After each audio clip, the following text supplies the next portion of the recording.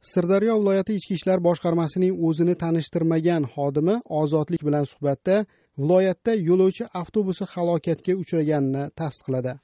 Avtobus seshanba kuni oqoltin tumanida halokatga uchradi. Voqea bo'yicha tekshiruv olib borilyapti dedi sirdaryo viloyat ichki ishlar boshqarmasi vakili.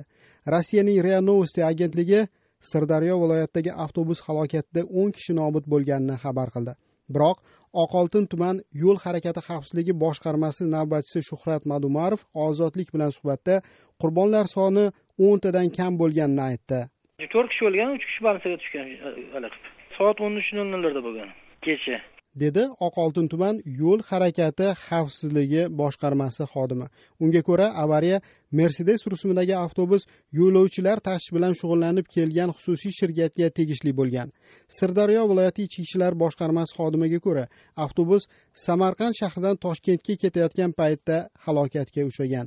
Lekin u halokat qaysi vaziyatda yuzaga kelganiga oid tafsilotlardan bexabar ekanini ta'kidladi. O'zmetronom internet nashrining yozishicha sirdaryo viloyatidagi halokat avtobusning texnik nosozligi haydovchi e'tiborsizligi yoki tunda yo'l muzlab yaxmalak hosil bo'lgani oqibatida ro'y bergan bo'lishiga oid taxminlar bor. Sirdaryo viloyati oqoltin tuman yo'l harakati xavfsizligi boshqarmasi rasmiysi tekshiruv davom etayotgani bois avariya sababi keyinroq ma'lum bo'lishini aytdi.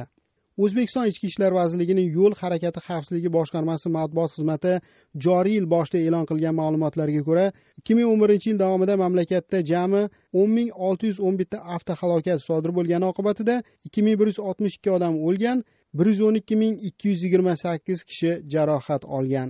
O'tgan yil davomida yo'l harakati xavfsizligi qoidalari buzilishi bilan bog'liq uch million sakkiz yuz to'qson olti mingta holat qayd etilgan.